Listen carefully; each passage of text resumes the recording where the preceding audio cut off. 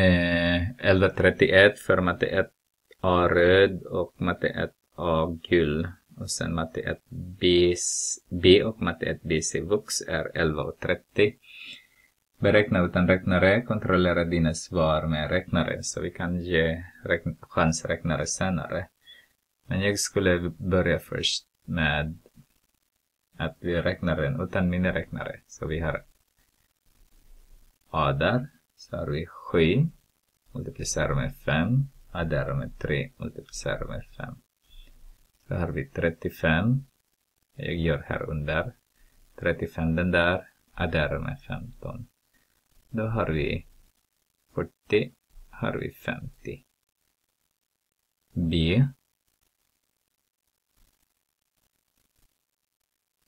vi 13 subtraherar med 3 multiplicerar med 2 plus 2. Kom ihåg att vi måste ha parentes om det finns parentes och sen multiplikation och division.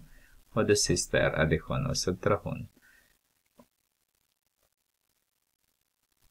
Vi gör det. Så 13.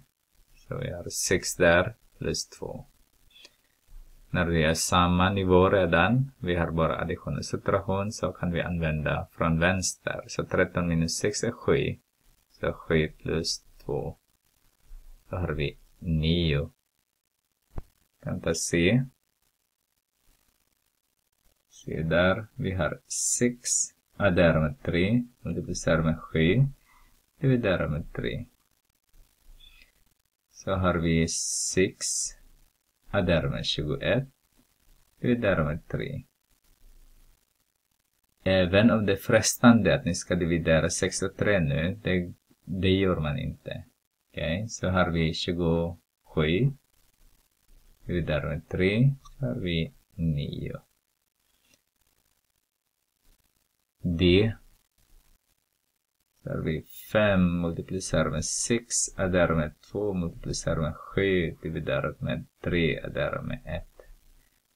Då tar vi multiplikation först, så har vi 30, adderar med 14, dividerat med 4. Så har vi 44, dividerat med 4, är lika med 11. Så jag tittar med mina räknare om det funkar. Om vi fick rätt svar. Kanske kan ge. Okej. Okay. Vi kan ta... Vi kanske göra det mindre. Så. Vi kan ta först AOP. Så här. Okej. Okay. 7 multiplicerar med 5 plus 3 multiplicerar med 5. Nej. Okej, okay. det var fel. 7 multiplicerar med 5 plus 3 multiplicerar med 5. Det var bättre. Okej, B. 13. Så drar vi med 3. Multiplicerar med 2. Adderar med 2. 9 har vi fått. Okej, C. Uh, vi räknar först där uppe. 6 plus 3 gånger 7 är det 27. Så 27 dividerat med 3 är 9. Det var okej. Okay. Eh, där kanske. Då har vi 5 multiplicerat med 6 plus 2 multiplicerat med 7.